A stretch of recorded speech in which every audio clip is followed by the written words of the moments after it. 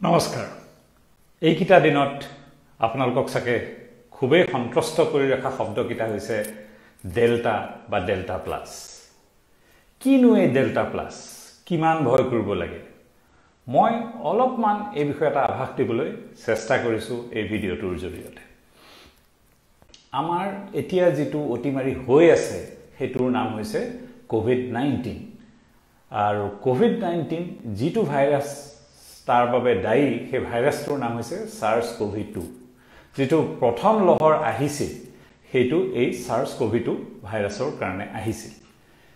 তাৰপিছত এই ভাইৰাছটোৰ কিছু ৰূপান্তৰ দেখা গৈছে যাক বিৱৰ্তন বুলি ক'ব পাৰে বা ইংৰাজীত মিউটেশ্যন বুলি ক'ব পৰা যায়।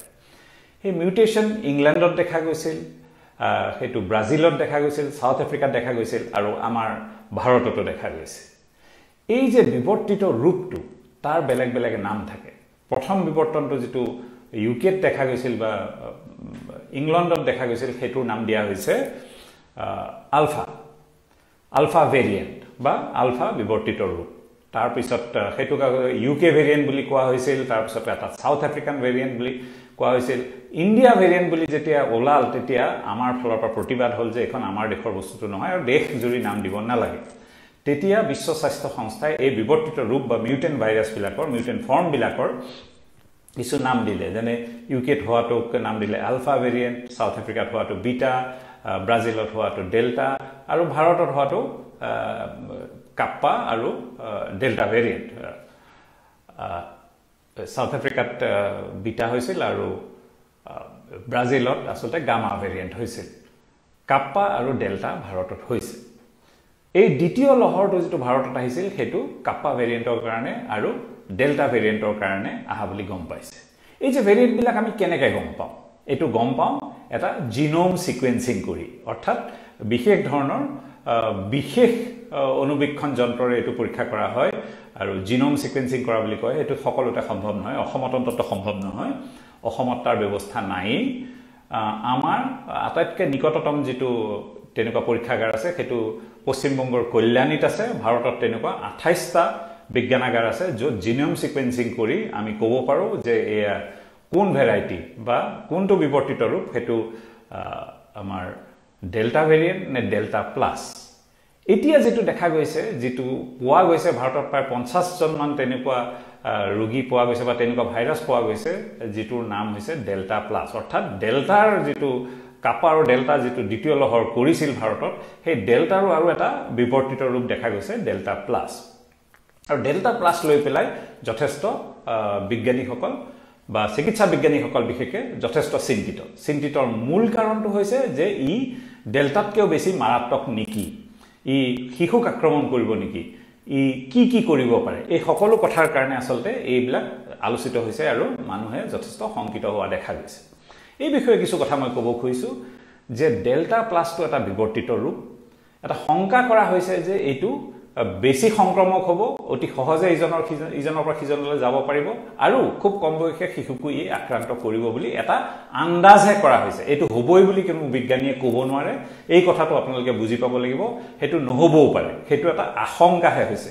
অৰ্থাৎ যেতিয়া ভাইৰাছৰ বিৱৰ্তিত ৰূপ দেখা যায় তাত দুটা প্ৰকাৰ থাকে। এটা হৈছে মানে মিউটেণ্ট অফ ইণ্টাৰেষ্ট অৰ্থাৎ আমি নতুন বৈজ্ঞানিক কিবা এটা বিৱৰ্তিত ৰূপ এটা ভেৰিয়েশ্যন এটা দেখা পাইছোঁ। আৰু এটা হৈছে মিউটেণ্ট অফ কনচাৰ্ণ অৰ্থাৎ যিটোৱে আমাক ক্ষতি কৰিব পাৰে।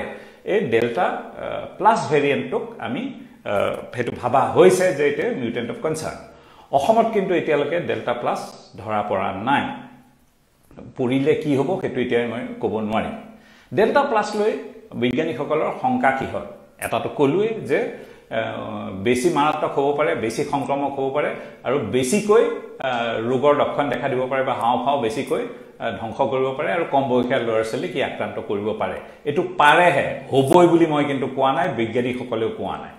দ্বিতীয় কথা যিটো আমি পৰীক্ষা কৰোঁ R T P C R test বা ৰেড টেষ্ট এই যিটো নতুন বিৱৰ্তিত ৰূপ C R T P C R বা ৰেড টেষ্টত ধৰা নপৰিবও পাৰে।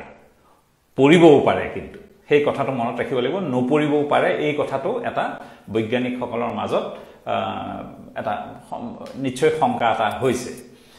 আৰু ইয়াত আৰু এটা গুৰুত্বপূৰ্ণ কথা যে যিহেতু এটা ভাবা হৈছে যে ডেল্টা ভেৰিয়েণ্টে বা কাপ্পা ভেৰিয়েণ্টে বেছিকৈ কম বয়সীয়া মানুহক আক্ৰান্ত কৰিলে এনেকুৱাও হ'ব পাৰে নেকি যে ডেল্টা প্লাছে আৰু কম বয়সীয়াক কৰিব পাৰে? এইবিলাক কথাৰ কাৰণে আচলতে গোটেই শংকাটো হৈছে বুজি পাব লাগিব যে alpha beta gamma kappa delta এইবিলাক হৈছে বিৱৰ্তিত ৰূপ। সেই চাৰ্চ কভি টু ভাইৰাছৰ আৰু প্ৰতিটো এতিয়ালৈকে বেছি সংক্ৰমক বা বেছি মাৰাত্মক হিচাপে দেখা গৈছে। কাৰণেহে আমি ভাবিছোঁ যে ডেল্টা প্লাছটো বেছি মাৰাত্মক হ'ব সেইটো নহ'বও পাৰে। ভাইৰাছ দুৰ্বল হোৱাৰ আন এটা উপায় হৈছে যে ই বিৱৰ্তন হৈ হৈ মিউটেশ্যন হৈ হৈ হৈ হৈ দুৰ্বল হৈ যায়। তেনেকুৱাও এটা সম্ভাৱনা থাকে। সেইকাৰণে এনেকুৱাও হ'ব পাৰে যে আমি যিটো ভাবিছোঁ তাৰ সম্পূৰ্ণ ওলোটা এটা ছবি হ'ব পাৰে। আৰু এটা চিন্তা বৈজ্ঞানিকসকলৰ যে যিখিনি মানুহে ভেকচিন লৈছে সেই ভেকচিনবিলাকে এই ডেল্টা প্লাছ যিটো আকাৰ বা ডেল্টা প্লাছ ৰূপ ভাইৰাছৰ সেইটোৱে এই ভেকচিনে তেওঁ ৰক্ষা কৰিবনে নকৰে অৰ্থাৎ ভেকচিন লোৱাসকলক এইবিলাকৰ পৰা ৰক্ষা পাবনে নাপায়। সেইটো কথাও আমি এতিয়াই ক'ব নোৱাৰোঁ। সন্দেহ এটা আছে শংকা এটা আছে কিন্তু এই ভেকচিনে কাম নকৰিব সেই কথাটো এতিয়াও ডাঠি ক'ব নোৱাৰি। যিহেতু এটা শংকা আছে আমি সাৱধান হোৱা উচিত। এতিয়া আমাৰ কৰণীয় কি? যে কৰণীয়খিনি প্ৰথম দিনাৰ পৰা একেই কিন্তু। ডেল্টা আহক ডেল্টা প্লাছ আহক বা তাতকৈও মাৰাত্মক কিবা ৰূপান্তৰ আহক বিৱৰ্তিত ভাইৰাছ আহক কথা একেই কিন্তু। ইজনৰ পৰা সিজনলৈ যদি আমি সংক্ৰমণটো নাইকিয়া কৰি দিব পাৰোঁ ইজনৰ পৰা সিজনলৈ যোৱাটো যদি নাইকিয়া কৰি দিব পাৰোঁ এই ভাইৰাছ লাহে লাহে নিষ্ক্ৰিয় হৈ যাব পৃথিৱীৰ পৰা নাইকিয়া হৈ যাব। আৰু এই ইজনৰ পৰা সিজনলৈ নাইকিয়া কৰাৰ উপায়বিলাক কি? অকল ভেকচিন নহয়। খুব ভেকচিনত বেছি গুৰুত্ব দিছে খুব ভেকচিন নহয় ইয়াতকৈও বেছি গুৰুত্বপূৰ্ণ কিন্তু মাস্ক পৰিধান কৰা ঘনে ঘনে হাত ধোৱা চেনিটাইজাৰ ব্যৱহাৰ কৰা যিটো দুই মিটাৰৰ দূৰত্ব বজাই ৰখা অনাহকত বাহিৰলৈ নোলোৱা জনসমাগম সমাগম নঘটোৱা এইখিনি কথা কিন্তু আৰম্ভণিৰ পৰা আজিলৈকে একেই আছে। মই বাৰে বাৰে এই ভিডিঅ' চোৱা সকলোকে কওঁ যে আপোনালোক সকলো শিক্ষিত আৰু জনা বুজা মানুহ। এটা কুকুৰকো ঘৰৰ ভিতৰত শৌচ প্ৰস্ৰাৱ নকৰি বাহিৰত কৰিব লাগে বুলি শিকালে এমাহতে শিকে। এটা কেঁচুৱাও কেইমাহমানত শিকে কিন্তু আমি এই যে মাস্ক পৰিধান কৰা এই যে হাত ধোৱা চেনিটাইজাৰ ব্যৱহাৰ কৰা সামাজিক দূৰত্ব মানি চলা জনসমাগম নকৰা এই কথাবিলাক আজি ডেৰ বছৰে কিয় শিকিব পৰা নাই? কিয় এতিয়াও থুতৰিত মাছ কলমি থাকে? এই কথাবিলাক চিন্তা কৰক।